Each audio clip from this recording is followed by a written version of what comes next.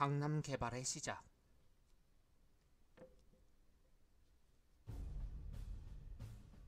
깡촌이던 강남. 강남구는 전 국토의 0.04%에 불과하지만 땅값 총액은 152조 원으로 부산시 전체보다도 높고 강남 3구는 전 국토의 0.1%에 불과하지만 이곳의 땅값 총액은 365조 원으로 전라남북도와 충청남북도를 모두 합하거나 혹은 경상남북도와 강원도를 모두 합한 수준과 맞먹는다. 뜨아.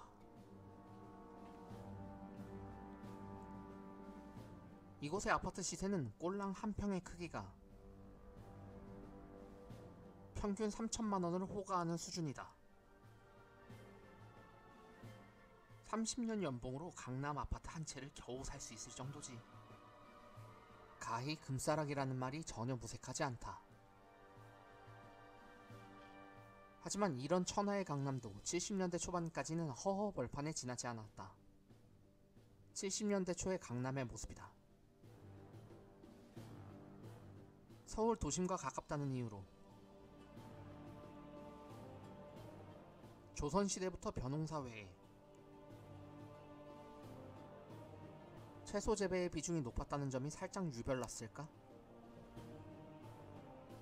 개발 전 강남, 송파, 잠실 일대의 모습이다.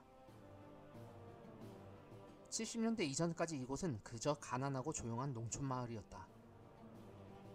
달구지 한 대가 지나갈 수 있는 좁디 좁은 비포장도로에 보이는 것이라곤 눈과 밭, 사이사이로 보이는 배나무 과수원이 전부였고 여기저기 낮은 언덕 기슭으로 초라한 초가집들이 옹기종기 모여 있었던 60년대 어디서나 볼 수 있는 평범한 여느 깡촌에 불과했었다. 현재 강남 3구의 인구는 170만 명이고 역삼일동의 1일 유동인구만 250만 명에 이르지만 당시 강남 3구의 총인구는 겨우 4만 명 정도였어. 양재동 일대는 조선시대만 해도 한양으로 들어가는 여행객들이 말에게 죽을 끓여 먹이던 곳이라고 해서 말죽거리로 불렸던 곳이고 압구정동 일대는 혼잡한 한양을 벗어나 한적한 풍광과 경치를 즐기기 위해서 15세기 권세가 한명회가 만들어 놓은 고즈넉한 정자 압구정이 있었던 곳이다. 70년대 초까지 강남에 붙여진 이름도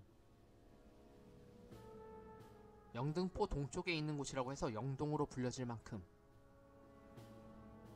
그 존재감이 미미했었고 60년대 중반까지만 해도 이곳의 땅값은 평당 200원, 300원 정도로 1만원을 호가하던 강북에 비해 턱없이 낮은 무늬만 서울인 가난한 동네로 인식되고 있었다. 하! 제 영동에서 전화 왔대. 와, 촌뜨기네. 참고로 60년대 중반 공무원들의 월 평균 급여는 1만원 안팎. 당시 쌀한 가마니에 5천원, 파고다 담배 한 갑에 50원 하던 때였으니 담배 대갑이면 강남 땅 한 평을 살 수 있었다.